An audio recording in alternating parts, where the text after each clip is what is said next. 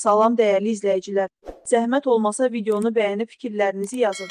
Rəylərdə Xankəndi Azərbaycandır yazaq. Ermənistanın Rusiyaya yolu yenə bağlandı. Qar yağması və yolun buz bağlaması səbəbindən Ermənistanı Rusiya ilə birləşdirən Gürcüstanın yuxarı Lars hərbi yolu yenə bağlanıb. Axaraz xəbər verir ki, bu barədə Ermənistan rəsmi qurumları açıqlama yayıb. Hazırda yol yalnız minik maşınları və sərnişin nəqliyyatı üçün açıqdır. Qeyd edək ki, bu gün səhər yuxarı Larsda bütün növ nəqliyyat vasitələrinin hərəkəti bərpa edilmişdi. Ermənilər bu ərazini zəbt etdilər, qədim torpağımızdır. Yerusəlim erməniləri Qüdsdə zəbt etdikləri ərazini tərk etmək istəmir və müqavimət göstərirlər. Global Infoaz Publika azda istinadən xəbər verir ki, ermənilər Xana Gardens şirkətinin ərazisini zəbt ediblər.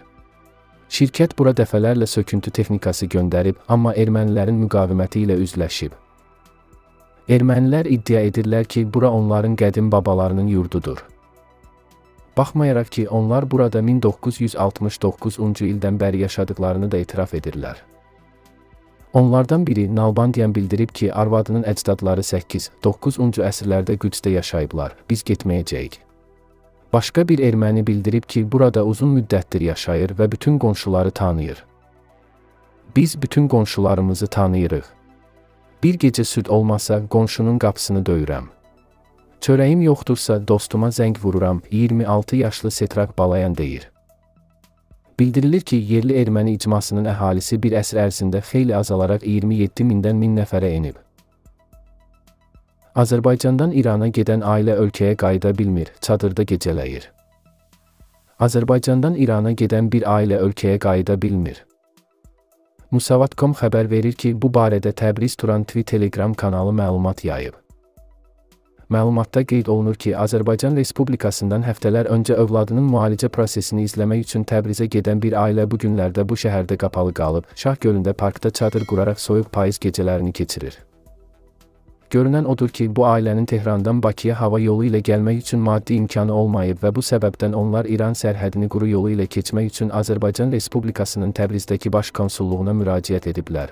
Lakin onlar indiyədək heç bir nəticə əldə etməyiblər.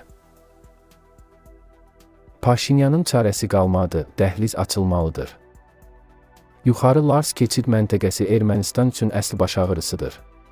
Qış aylarında məntəqə həftələrlə qapadılır. Ermənistan öz məhsullarını Rusiya bazarına daşıya bilmir, əks istiqamətdə mallar gətirilmir. Ancaq yuxarı Lars işlək vəziyyətdə olanda da Ermənistanın öz məhsullarını Rusiya bazarına çatdıracağının təminatı yoxdur. Konkretas xəbər verir ki, bu barədə Atlas Araşdırmalar Mərkəzinin təhlilində deyilir. Mərkəzin ekspertləri qeyd edirlər ki, Rusiya Ermənistanın kənd təsərrüfatı məhsullarını daşıyan yük maşınlarının yuxarı Larsdan keçməsinə yenə icazə verməyib. Rusiya buna səbəb kimi Ermənistandan daşınan məhsulların fitosanitar standartlarına uyğun gəlmədiyini göstərib.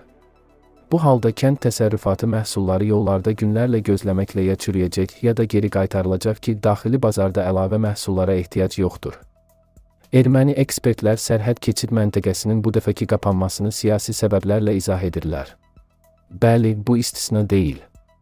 İrəvan qərbə daha çox yaxınlaşmaq istədikcə Kreml Ermənistanı cəzalandırmaq alətlərini hərəkətə gətirəcək. Bu alətlərdən biri yuxarı Larsda hərəkətin dayandırılmasıdır. Yuxarı Larsdan asılı olan Ermənistan 2017-ci ildə Gürcüstana alternativ yolun tikintisi ilə bağlı müraciət etmişdi. Ermənistanın keçmiş rəhbərliyi uçqunlar səbəbindən yolun tez-tez bağlanmasını əsas gətirərək yuxarılarsa alternativ olaraq Gürcüstandan Rusiyaya gedəcək yeni avtomobil yolunun çəkilməsinə çalışırdı. Gürcüstan hökuməti Ermənistanın bu təklifini qəbul etmədi. Tbilisi bunu belə əsaslandırdı ki, yolun çəkilişi həm maliyyə və infrastruktur, həm də ekoloji baxımdan çətindir. Bunun əvəzinə Gürcüstanla Rusiya yuxarı Larsın genişləndirilməsini planlaşdırırdı. Layihənin ümumi dəyəri 200 milyon ABŞ dolları həcmində qiymətləndirilirdi. Ancaq bu layihədən də xəbər yoxdur. Əksinə Rusiya yuxarı Larsda beynəlxalq nəqliyyat daşıyıcıları üçün hərəkət qaydalarında dəyişikliyə qərar verib. Yeni qaydalara görə beynəlxalq avtomobil daşımalarını həyata keçirən avtonəqliyyat vasitələri üçün gömrük keçid məntəqələrində məhdudiyyətlərin tətbiqi nəzərdə tutulub. Bu sırada sərhəd keçidində hərəkət zolaqlarının sayının 11-dən 6-ya endirilməsi də var. Təhlildə vurğulanır ki, bütün səylərə baxmayaraq Ermənistanın yuxarı Larsla bağlı çarəsizliyi davam edir. Ermənistanın bu vəziyyətdən qurtuluşu Azərbaycan və Türkiyənin nəqliyyat yollarına qoşulmasından keçir. Ancaq bunun üçün Ermənistan baş naziri Nikol Paşinyan Azərbaycanla sülh əldə etməyə tələsməlidir. Əks halda Paşinyanın özünün də dediyi kimi ermənilərin yaddaşında uğursuz lider kimi qalacaq. Paşinyan müharibədə ağır məğlubiyyətdən sonra mümkün uğur hekayəsini iki qonşusu, Azərbaycan və Türkiyə ilə sülhə nail olmaq və əməkdaşlığa başlamaqla əldə edə bilər. İrəvan Kremllə müttəfiqliyi pozdu. Ermənistan Rusiya və KTMT-nin legitim hərbi hədəfinə çevrilir.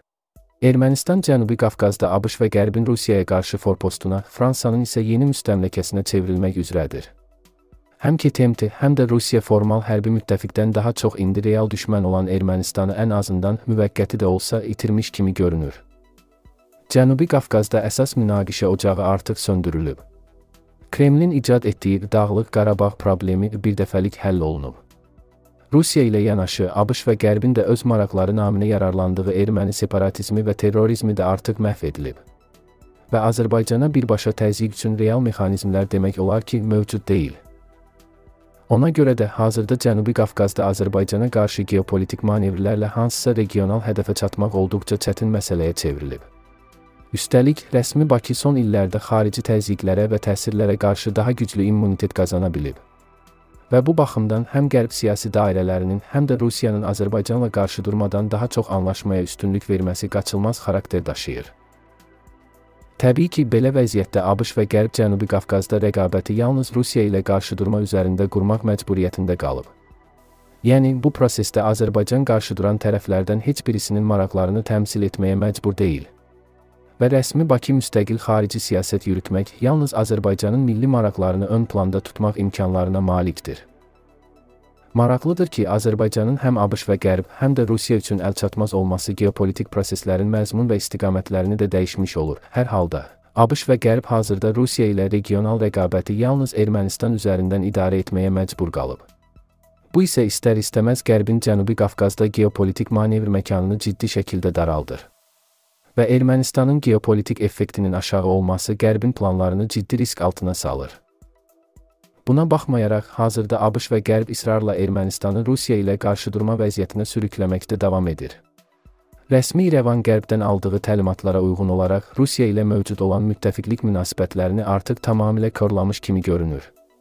Və belə davam edərsə, Rusiya-Ermənistan münasibətlərinin qəlizləşməsi geriyə dönüşü olmayan mərhələyə keçə bilər.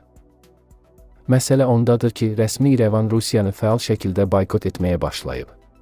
Paşinyan hakimiyyətinin təmsilçiləri Rusiyanın iştirak etdiyi heç bir qurumun toplantısına qatılmırlar.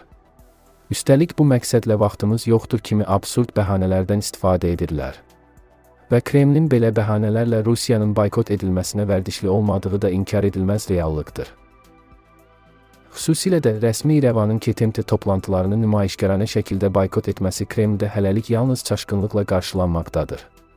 Paşinyan hakimiyyətinin bu davranışları əslində Rusiyanın beynəlxalq nüfuzuna sarsıdıcı zərbə xarakteri daşıyır.